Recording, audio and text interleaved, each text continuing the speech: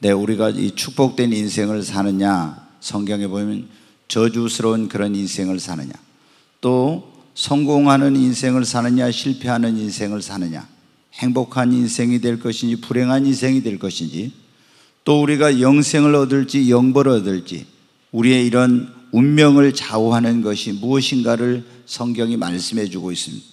그것은 우리가 무엇을 가까이 하느냐에 달려 있다고 성경은 말씀하고 있어요. 우리도 이제 주변에서 그런 걸 많이 보면서 늘 술집을 가까이 하는 사람은 어떻게 해요?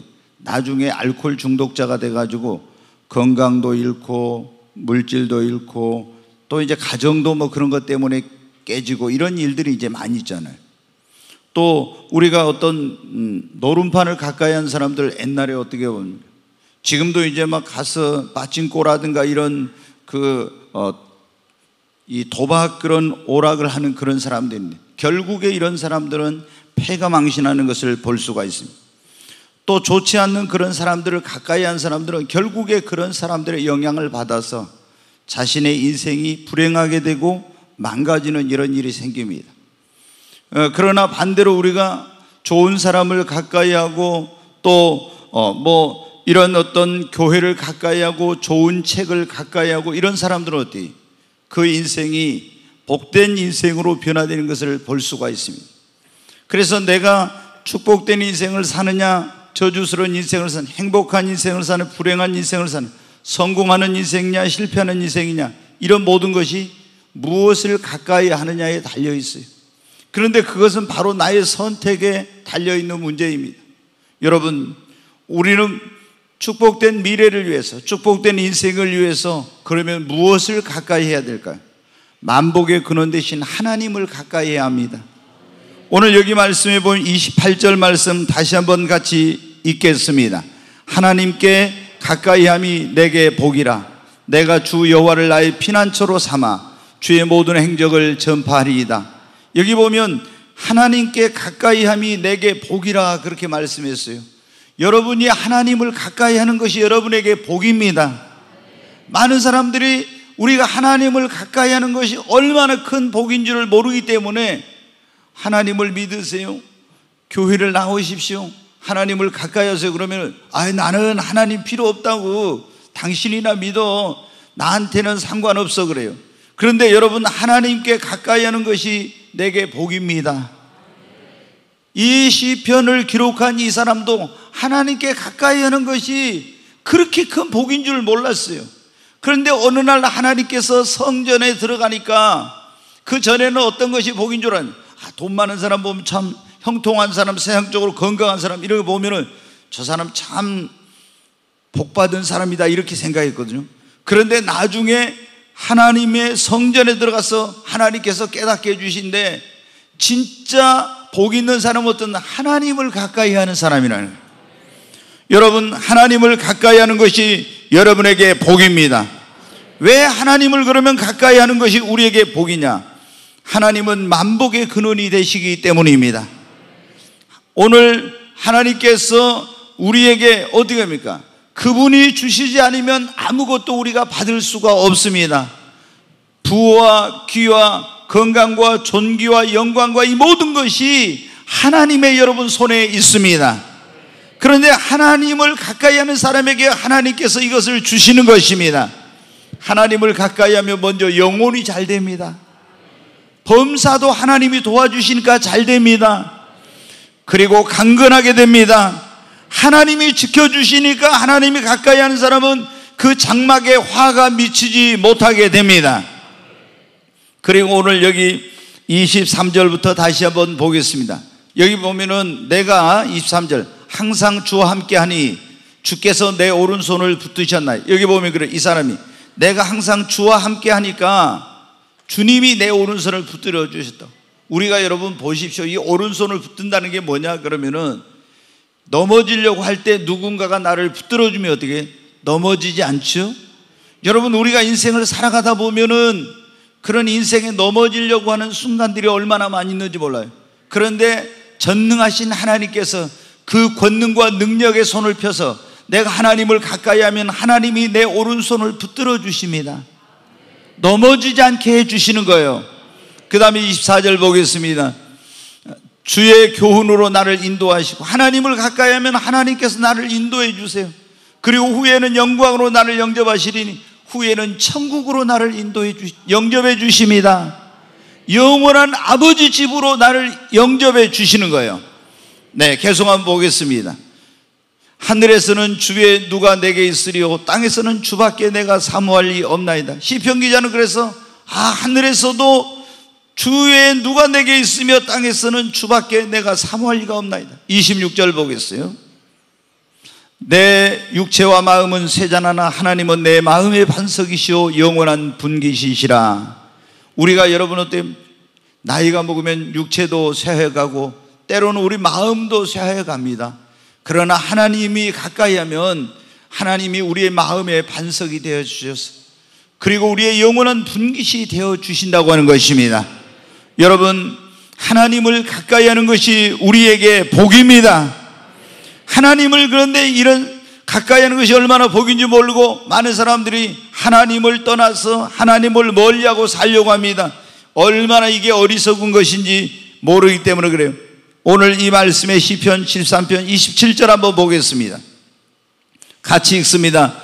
주를 멀리하는 자는 망하리니 음녀같이 주를 떠난 자를 주께서 다 멸하셨나이다. 여기 보면 주를 멀리하는 사람은 어떻게 된다고요? 망하게 된다고. 성경에 보면요. 하나님을 멀리한 사람은요. 다 잘 되지 못해요. 이스라엘 백성들이 하나님의 택한 백성인데 하나님을 가까이 할 때는 그렇게 잘 돼요. 근데 하나님을 멀리하고 우리는 하나님의 간섭받기 싫어. 우리 마음대로 살고 싶어. 그러면서 하나님을 떠나면요. 결국에 그 나라가 망해요. 그리고 하나님을 떠난 사람들은 그 집안이 망해요.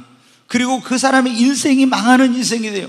그리고 여기 보면 음녀같이 주를 떠난 자는 주께서 다 멸하시.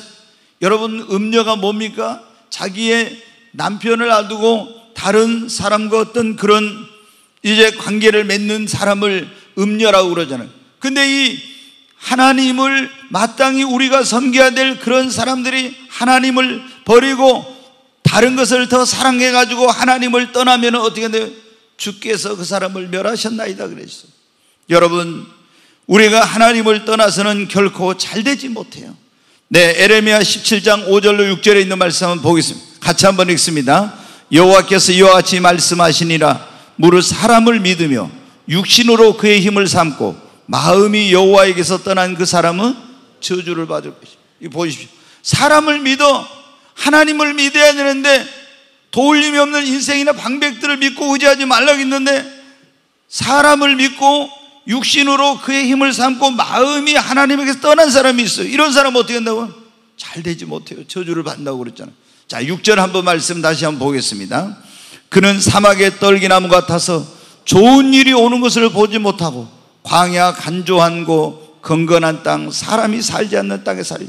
보십시오. 하나님을 멀리한 사람은 사막의 떨기나무 같다고 그랬잖아요. 사막에 심겨진 떨기나무가 어떻게 되겠어요? 얼마나 목마르겠습니까? 그래서 좋은 일이 오는 것을 보지 못하는 겁니다. 여러분 하나님을 떠난 사람은 잘 되지 못하고 저주를 당하고 부끄러움과 수치를 당하고 사막의 떨기나무처럼 좋은 일이 오는 것을 보지 못하고 외롭고 고독한 인생을 산다는 겁니다 우리가 하나님을 가까이 하는 것이 여러분 축복인 것입니다. 오늘 이 자리에 오신 여러분 다 하나님을 가까이 하시기를 바랍니다. 우리가 하나님을 가까이 하려면 어떻게 합니까? 여러분, 하나님과 가까이 하려면 우리 사이에 막힌 것이 없어야 돼요. 그런데 아담과 하와의 후손으로 태어난 우리는 그 조상들이 범죄하고 우리가 또 살아가면서 죄를 지음으로 말미암아 하나님과 우리 사이가 죄라는 담으로 말미암아 막혀져 있습니다. 그래서 하나님을 가까이 할래 가까이 할 수가 없었어요. 그런데 하나님의 아들이신 예수님께서 오셔서 하나님과 우리 사이를 가로막고 있는 우리의 모든 죄를 짊어지고 십자가에 피 흘려 대신의 심판을 받으심으로 하나님과 우리 사이에 막힌 그 담을 헐어버려서 하나님께로 가까이 나아갈 수 있는 길을 우리에게 열어 주신 것입니다. 그래서 요한복음 14장 6절에 예수님께서 이렇게 말씀했어요. 예수께서 이르시되 내가 곧 길이요 진리요 생명이니 나로 말미암지 않고는 하나님 아버지께로 올 자가 없다고. 여러분 우리가 죄인된 우리가 죄의 문제를 해결하고 거룩하신 하나님 만복이 근원 되신 하나님께로 가까이 나아갈 수 있는 길은 예수 그리스도를 여러분 믿는 것입니다. 그러면 예수님이 하나님께로 가까이 갈 수 있는 우리의 길이 되어 주시는 것입니다. 여러분 하나님을 가까이 하는 것이 시편 기자가 내게 복이라고 했죠. 여러분도 하나님을 가까이 하는 그런 삶을 사시기를 바랍니다. 그러려면 예수님 안 믿으신 분은 예수님을 믿어야 됩니다. 그리고 하나님을 가까이 하려면 시편 11편 4절에 있는 말씀을 보겠습니다. 같이 읽습니다. 여호와께서는 그의 성전에 계시고 여호와의 보좌는 하늘에 있으며 여기 보면 그러죠. 여호와께서는 어디에 계신다고요? 그의 성전에 계시고 그랬죠. 여러분 우리가 하나님을 가까이 하려면 하나님의 성전을 가까이 해야 합니다. 왜? 하나님은 그 성전에 계신다고 했기 때문에 하박국 2장 20절에도 온 천하는 그 앞에 잠잠할 어, 거기에 보면 그는 여호와는 그 성전에 계시니 온 천하는 그 앞에 잠잠할 하나님은 온 세상에 무소부지하신 어디에나 계시지만 하나님이 어디서 우리를 만나 주시냐면 바로 하나님의 집이요 성전인 교회에서 우리를 만나 주시겠다고 약속했습니다. 그러므로 여러분이 하나님을 가까이 하시고 하나님을 만나길 원하면 하나님의 집 성전이라고 불리는 이 교회를 가까이 하시기를 주의 이름으로 축원합니다. 우리가 교회를 가까이 하면요 하나님과 가까워요. 근데 교회를 멀리 하면 어떻게 되냐? 하나님과도 멀어집니다. 네. 그래서 이거 우리가 교회를 가까이 한 사람들은 그래서 하나님께 사랑을 받게 되고 하나님께 축복을 받게 되는 거예요. 자, 또 우리가 하나님을 가까이 하려면 신명기 4장 7절 말씀을 보겠습니다. 같이 읽습니다. 우리 하나님 여호와께서 우리가 그에게 기도할 때마다 우리에게 가까이 하심과 같이 그랬죠. 우리 하나님 여호와께서 우리가 그에게 기도할 때마다 우리에게 어떻게 하신다고요? 가까이 하신다고. 여러분 기도를 뭐라고 하냐면은 기도를 하나님과의 대화라고 그래요. 자, 어떤 사람들은 한 집에 부부가 사는데 그 거리는 육신의 거리는 몸의 거리는 가까운데 마음의 거리는 얼마나 멀리 있는지 몰라요. 한 집에 살면서도 부부가. 왜? 대화가 없으면 그렇게 되는 거예요. 근데 우리가 하나님과 대화를 하면은 하나님과 가까워져. 부부 간에도 대화를, 부모와 자식 간에도 대화를, 대화가 없고 단절된 그런 사람들은요, 몸은 가까이 있어도 마음은 어, 얼마나 먼지 모릅니다. 우리가 하나님을 믿어도 예수님을 믿어도 하나님 앞에 나와서 기도하지 않으면 하나님과 대화를 하지 않는 거예요. 그래서 하나님과의 거리가 멀어요. 그런데 하나님께 기도하면 어떻게 한다고요? 하나님 우리 하나님 여호와께서 우리가 그에게 기도할 때마다 우리에게 가까이 하심 것 같이 그랬잖아요. 우리가 기도하면은 그 기도는 하나님과의 대화인 것입니다. 하나님 이렇게 하나님이 다 듣고 계세요. 그래서 기도하면서 또 하나님의 음성을 듣기도 하고 여러분 기도하면 하나님과 친밀해지고 기도하면 하나님과 가까워지고 이렇게 되는 거예요. 그래서 여러분이 하나님과 가까워지길 원하면 더 많이 기도하시기를 바랍니다. 우리가 하나님, 하나님 아버지 이렇게 기도하면요.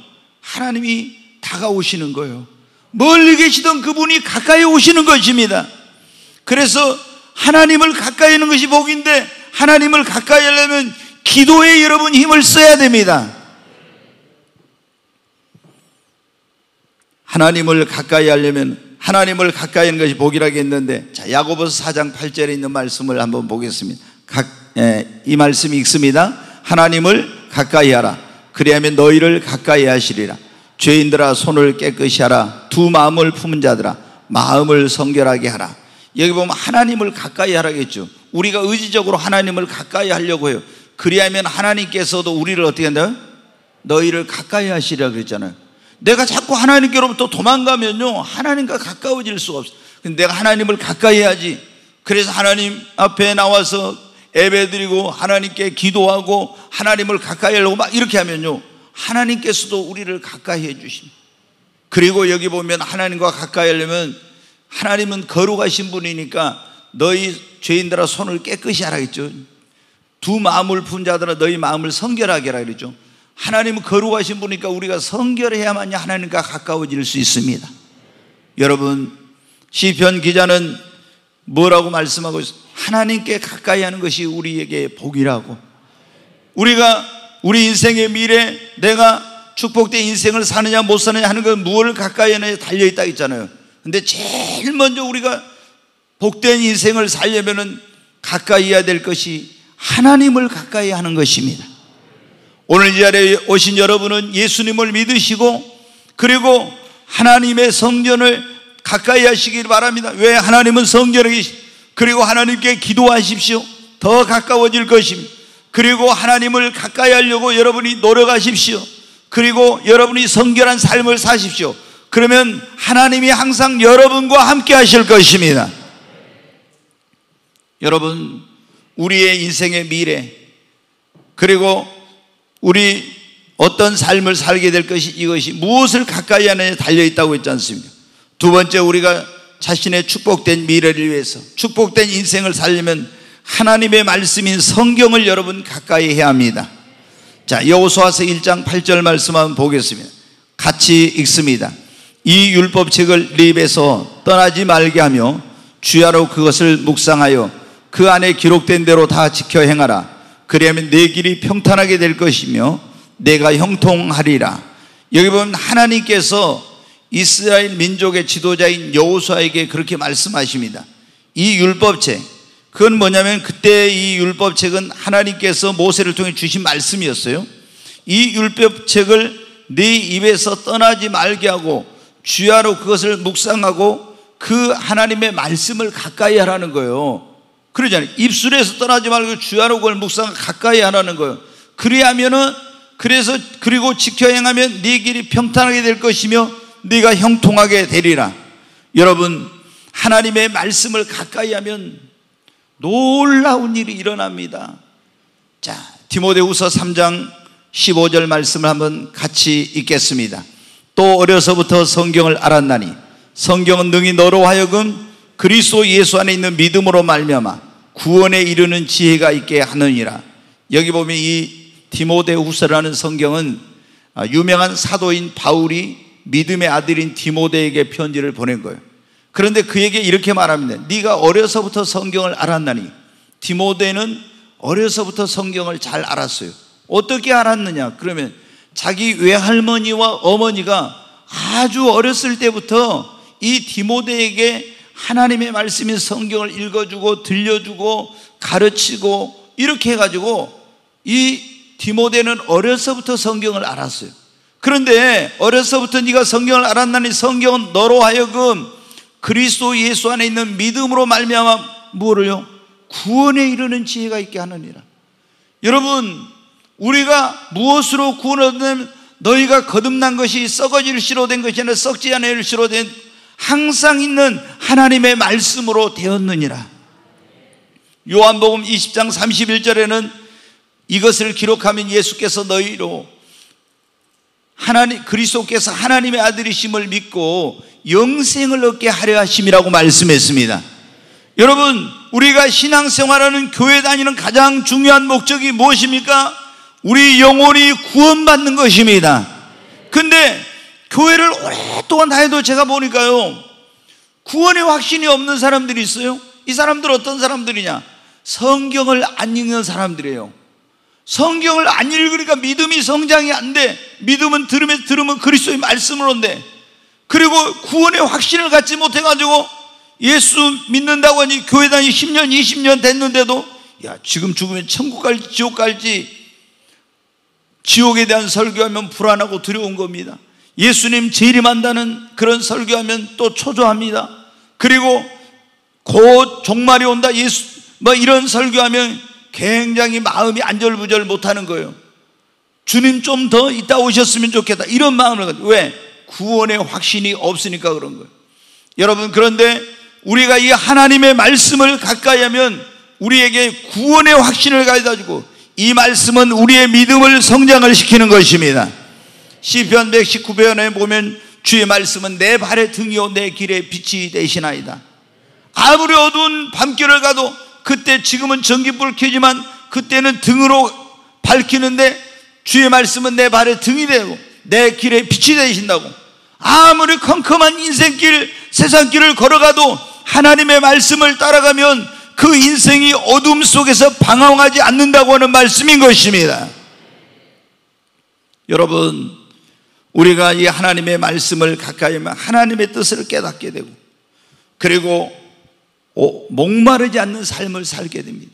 제가 보니까 예수님을 믿어도 어, 또 성령을 받을 수도 있잖아요. 하나님의 말씀을 계속 읽지 않는 사람은요, 영적으로 항상 갈급하고 공부하고 목마른 가운데 있어요. 에, 미국의 19세기에 유명한 무디라고 하는 그런 이 부흥사 전도자가 있었어요. 근데 이 사람이 원래 구두 수성공이었는데 예수님을 만나고 나서 예수님을 믿고 구원을 받아가지고 너무너무 행복했어요. 근데 어느 정도 시간이 지나니까 아, 영적으로 계속 자기가 갈급하고 목마른 거예요. 기쁨이 사라진 거예요.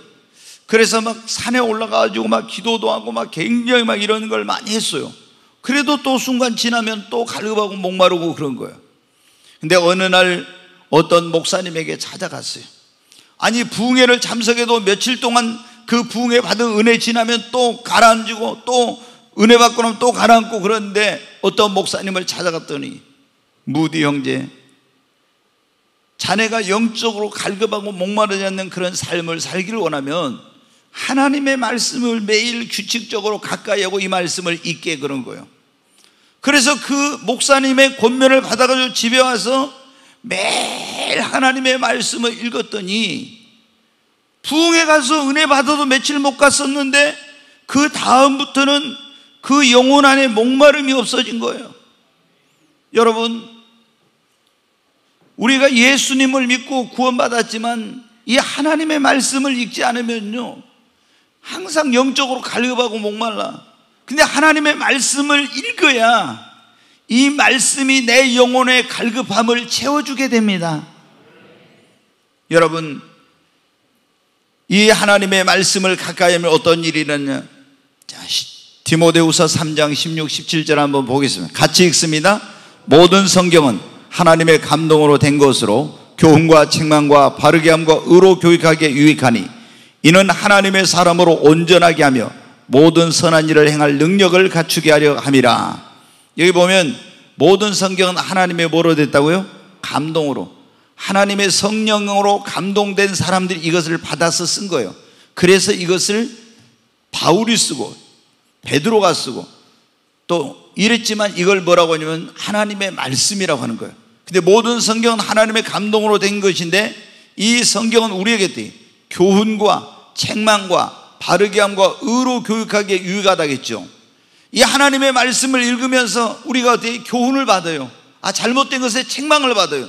삐뚤어진 내 삶을 바르게 하게 되고 의로 교육하기에 유익한 이런 역사를 이 성경이 우리에게 줍니다. 그래서 하나님의 사람을 어떻게 해요? 온전하게 한다고 했잖아요. 여러분 예수님을 믿어도 성경을 안 읽는 사람은 자기가 뭐가 어떻게 잘못됐는지 뭐를 고쳐야 될지 이런 걸 몰라요. 그러니까 예수님을 믿고 나서 신앙생활 오래 하면 우리가 예수님을 본받고 닮아가야 되는데 성경을 안 읽은 사람은 이런 변화가 안 일어나. 내 예수 그리스도를 믿고 성경을 가까이 하고 이 말씀을 읽으면 성경의 교훈과 책망과 바르게 함과 의로 교육하기에 유익한 이 말씀을 통해서 우리가 하나님의 사람으로 온전하게 돼요. 그리고 하나님의 모든 선한 일을 행할 능력을 여러분 갖추게 되는 것입니다. 뿐만 아니라 이 하나님의 말씀은 조금 전에도 예, 여호수아서 1장 8절에 그랬잖아요. 이 율법책을 네 입술에서 떠나게 하지 말고 그것을 주야로 묵상하여 그 가운데 기록한 것을 다 지켜 행하라. 그러면 네 길이 평탄하게 될 것이며 네 길이 형통하게 되리라. 여러분, 여러분의 길이 평탄하게 되고 여러분이 형통한 삶을 살길 원하면 하나님의 말씀을 가까이 하고 그 말씀을 읽고 묵상하고 그 가운데 기록한 것을 지켜 행하시기를 바랍니다. 그러면은 그 길이 평탄하게 되고 그 길이 형통하게 됩니다. 여호수아가 있지 않습니까? 하나님께서 하신 말씀 그대로 여호와의 율법책을 주야로 묵상하고 그것을 기록한 걸 지켜 행했더니 말씀대로 행할 때는요 그 길이 평탄했어요. 그 길이 형통했어. 근데 말씀대로 안 할 때는 어떻게 그 길이 평탄하지 못해.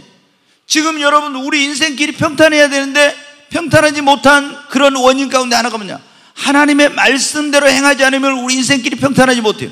우리가 말씀대로 가까이 하고 그 말씀대로 행하면은 하나님 우리의 인생길을 평탄하게 울퉁불퉁한 인생길을 평탄하게 해주시고 그리고 우리의 삶을 형통하게 해주시는 것입니다.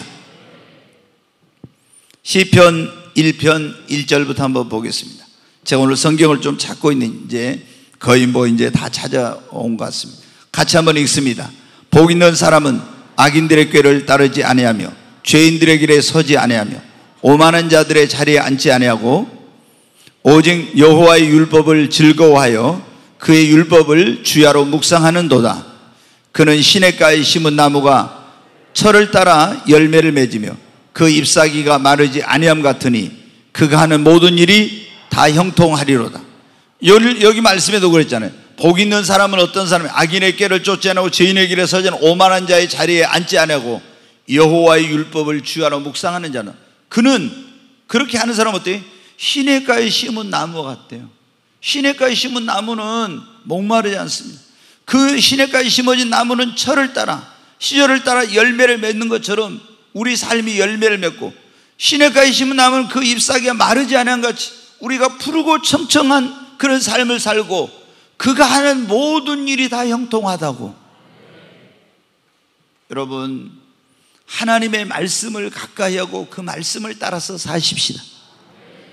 이 하나님의 말씀을 오늘날 보면 있잖아요. 얼마나 많은 사람들이 요즘은 너무 재밌는 게 많고 우리의 그런 시간을 뺏어가는 것이 많아가지고 성경을 안 읽어요.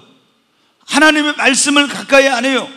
그러기 때문에 예수님 믿는 지 오래됐는데도 믿음이 성장이 안 되고 하나님의 축복을 못 받아요. 우리가 여러분 어떻게 오늘 말씀에 그러죠. 여호와 율법을 주야로 묵상하는 사람은 복이 있다고.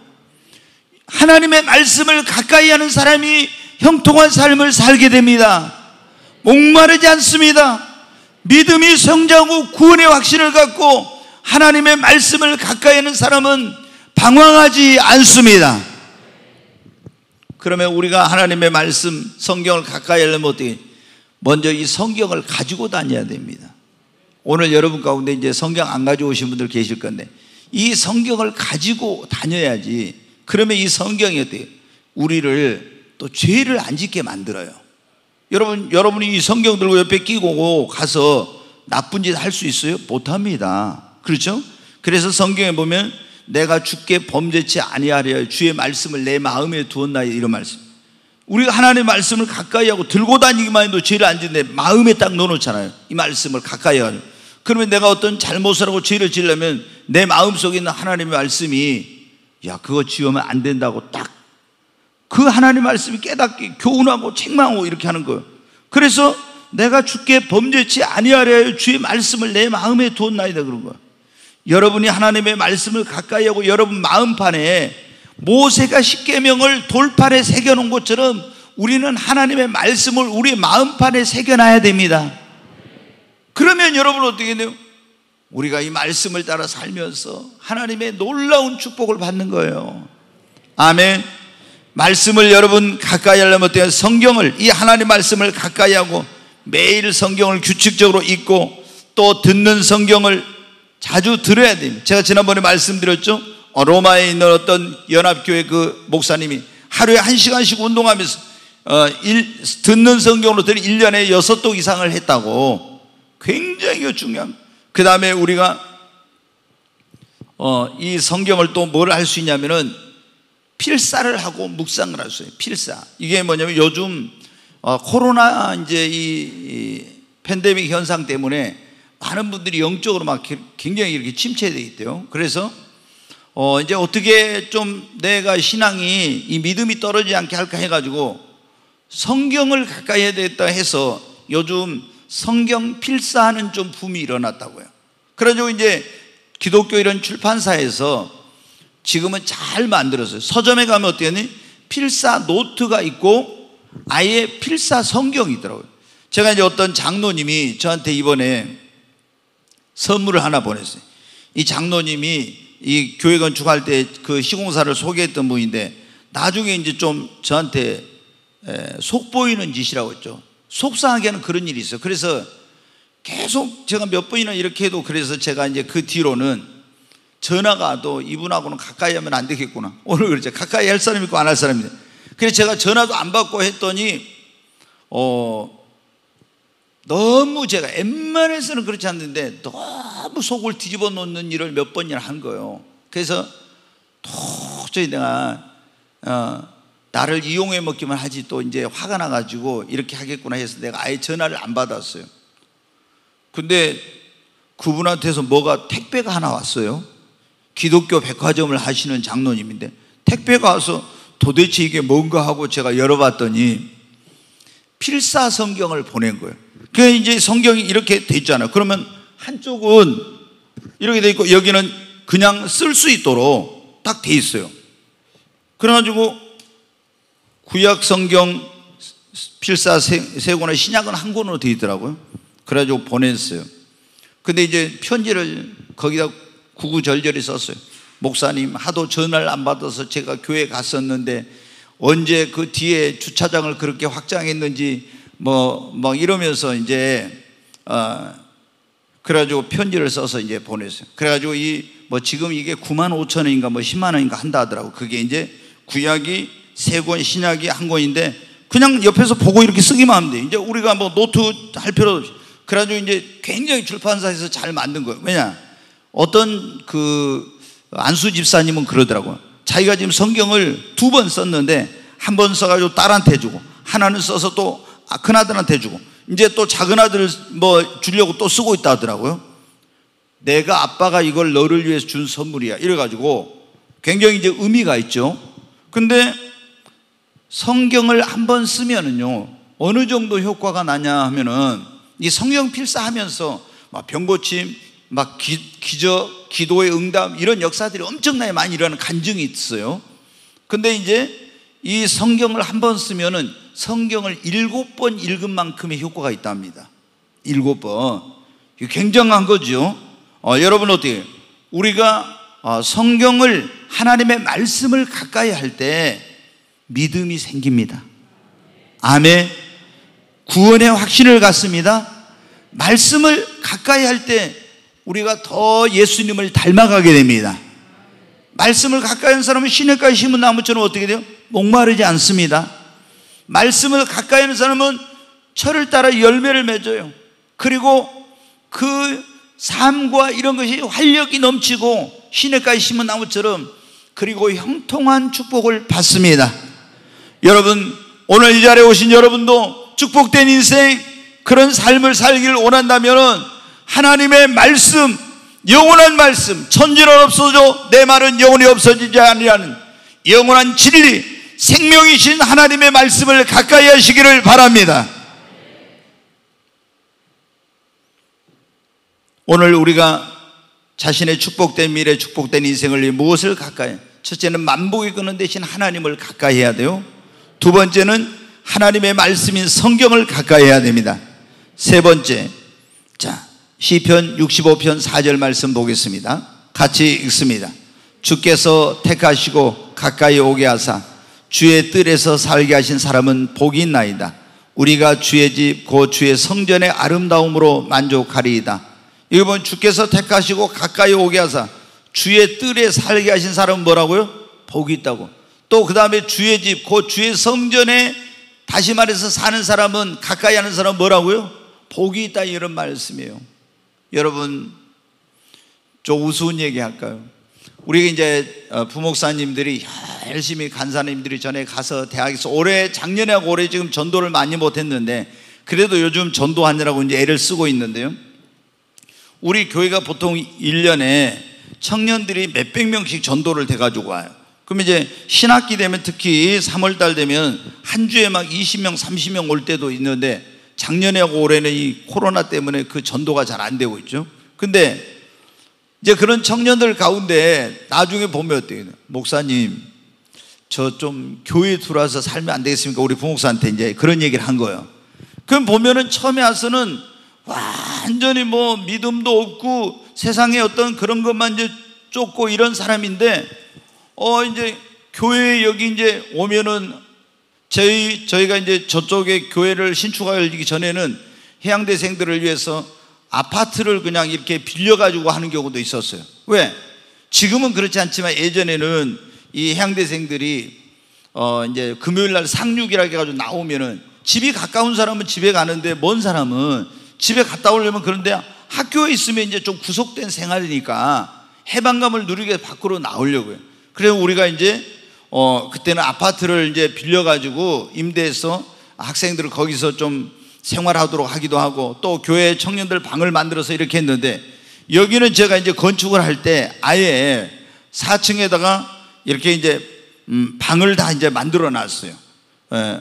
물 청년들만 위해서 만들어 놓은 거 아니라 권사님이나 집사님들도 오셔도 됩니다. 와서 철야하다가 피곤하면 올라가서 자면은 돼요. 거기 따뜻하고 여름에는 에어컨, 겨울에는 뭐 따뜻한 난방이 돼 있으니까 아마 어쩌면 집보다 더 좋을지 모릅니다. 근데 청년들이 여기 올 때 믿음이 없어. 전혀 막 형편없는 생활을.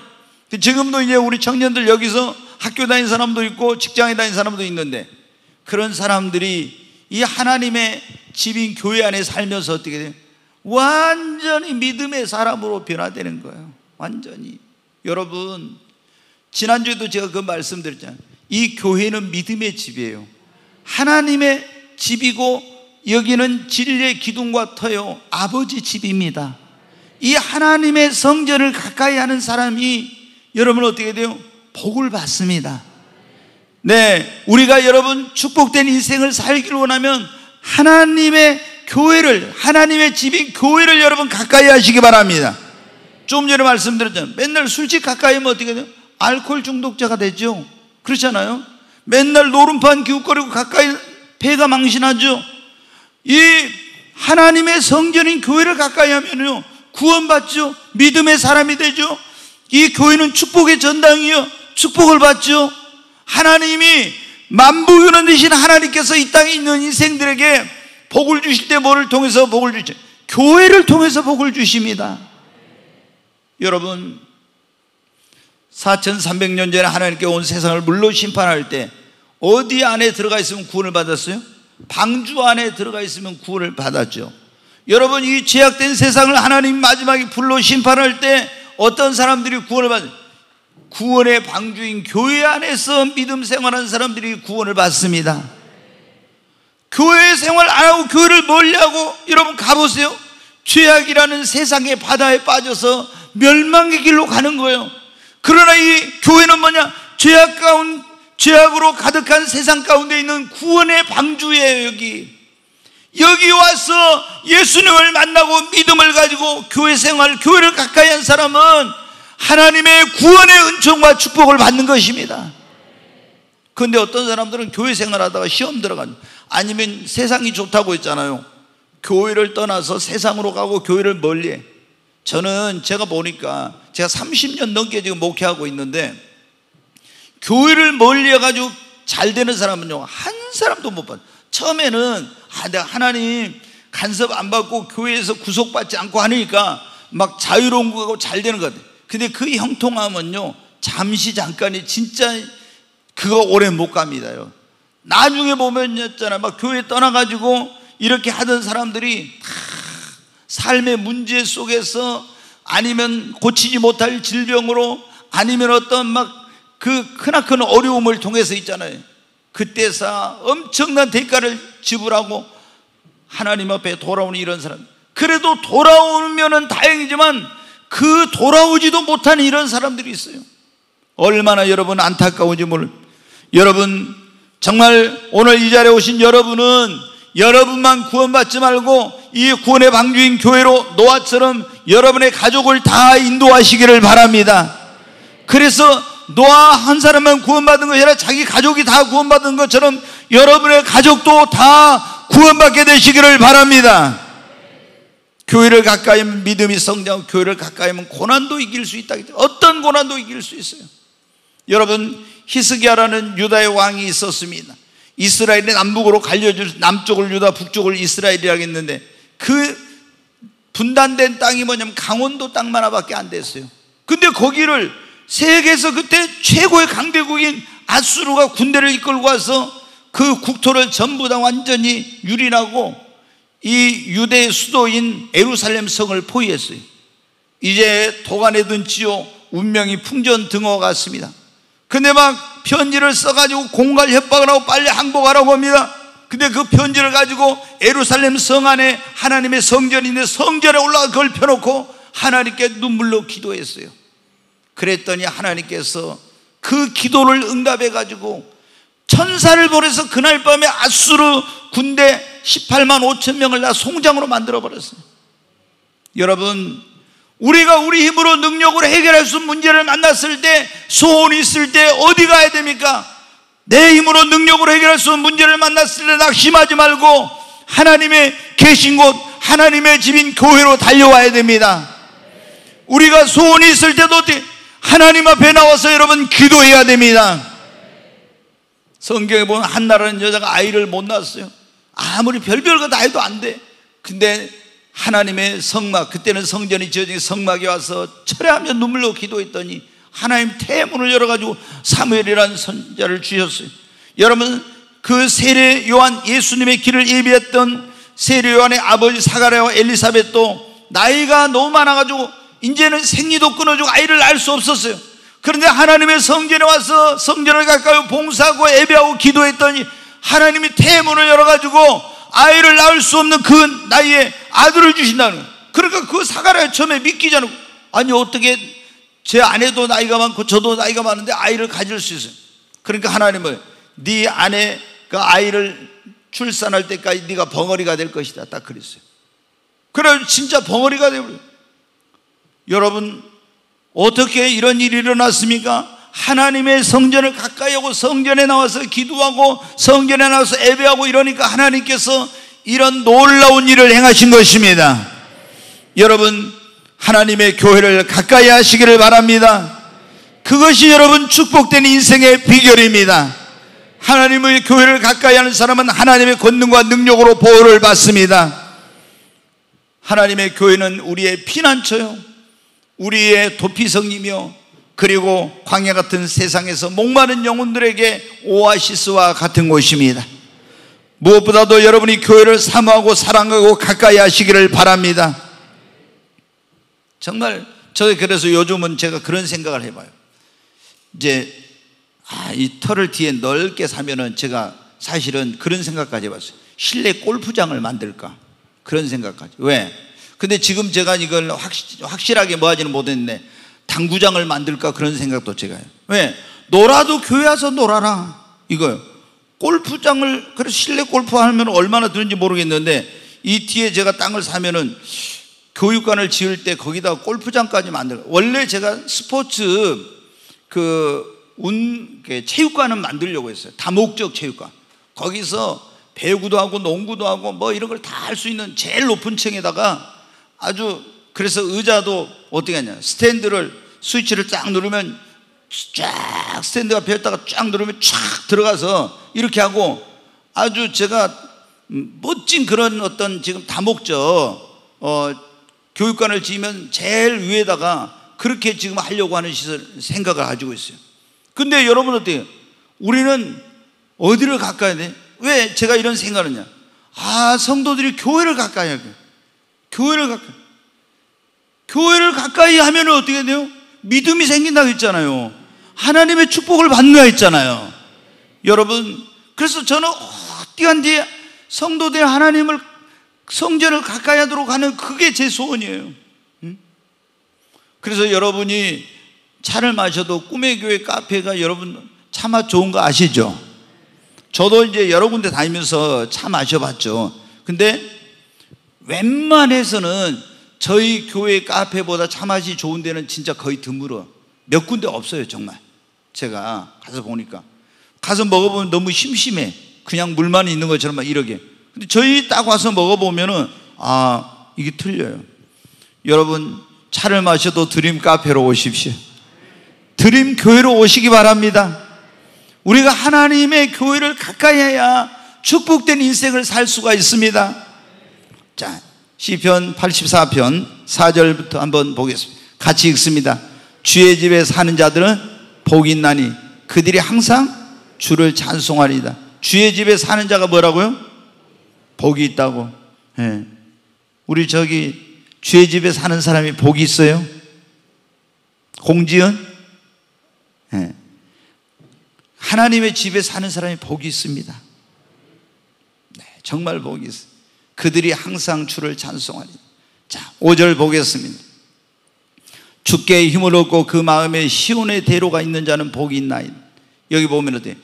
하나님의 성전을 가까이 하면 주께 힘을 얻습니다. 그리고 그 마음에 시온의 대로가 열려요. 놀라운 일이 일어납니다. 자, 또 보겠어요.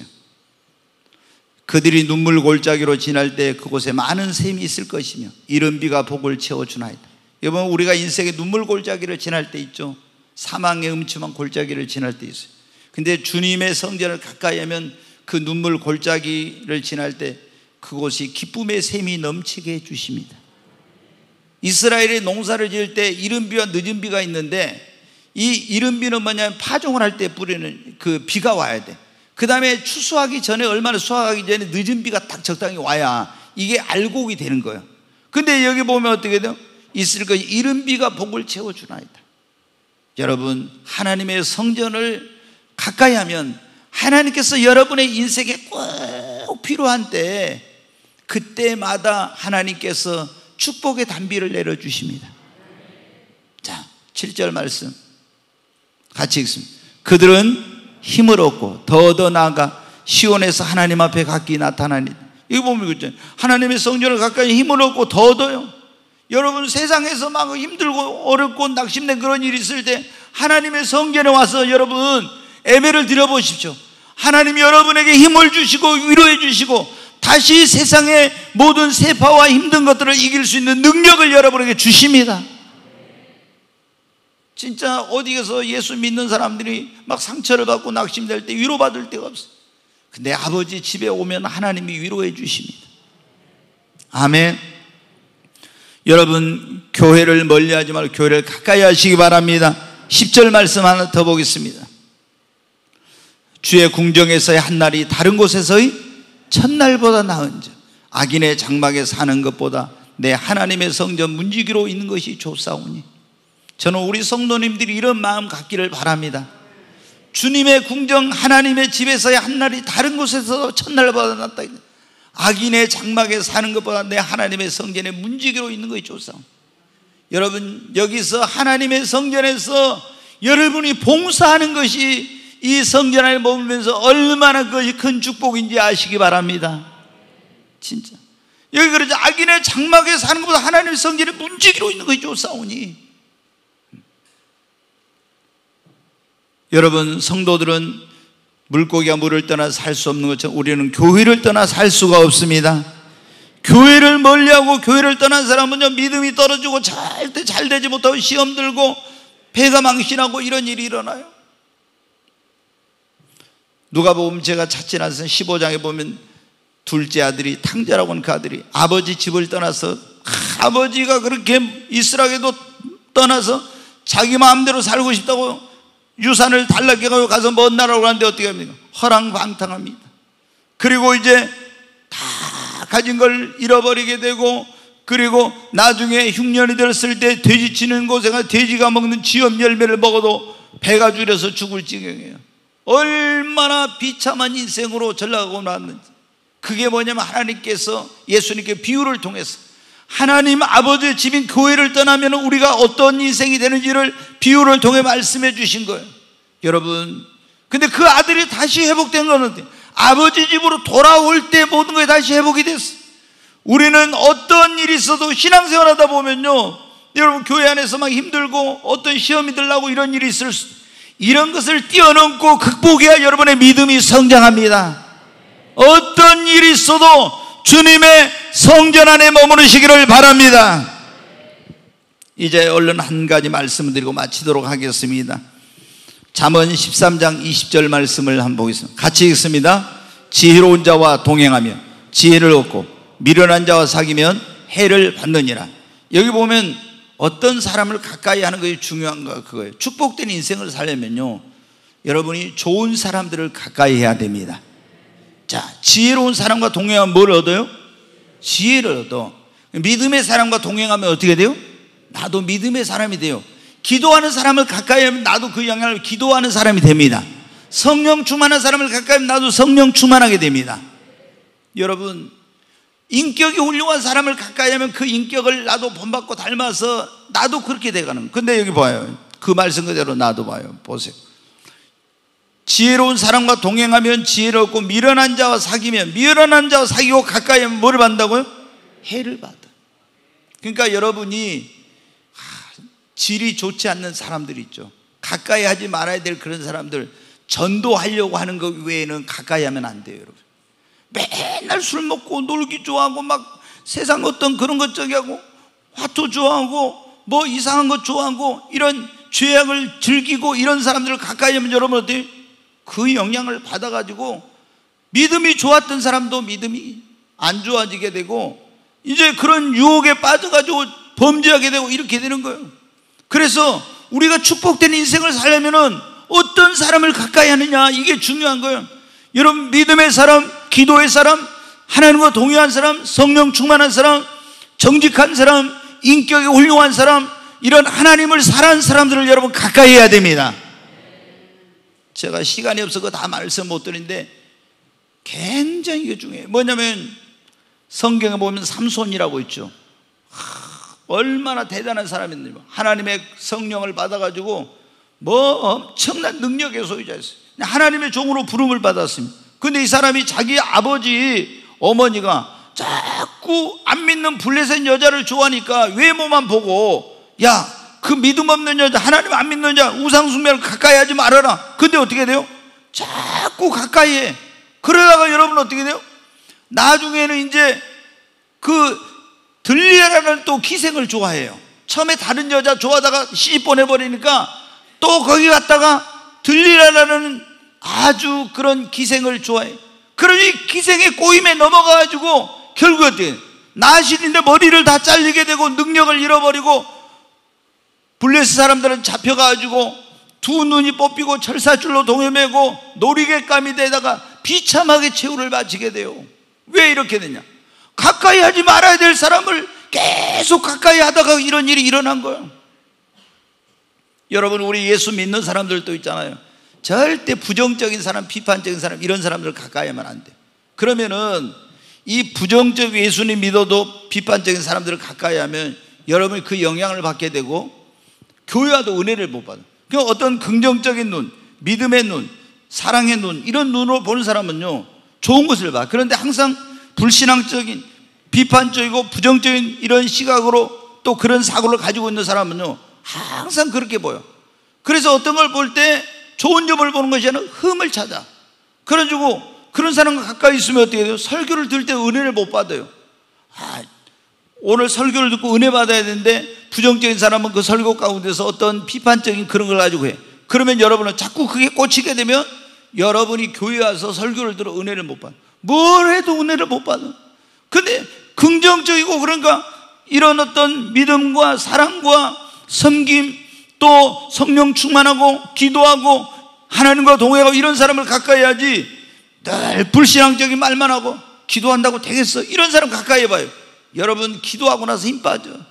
비판적이고 부정적이고 그리고 세속적이고 정직하지 못하고 이런 아주 안 좋은 그런 사람들을 가까이 하면 여러분의 인생이 그렇게 되는 거예요.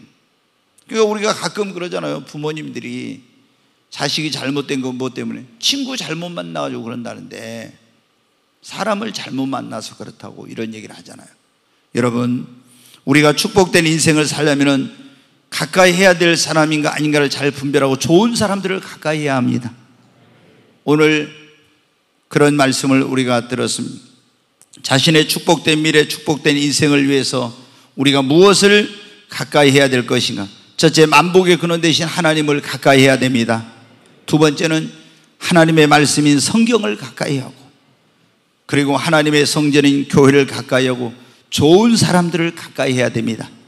그렇게 할 때 우리가 축복된 인생, 축복된 미래가 열리는 그런 역사가 있게 되는 것입니다.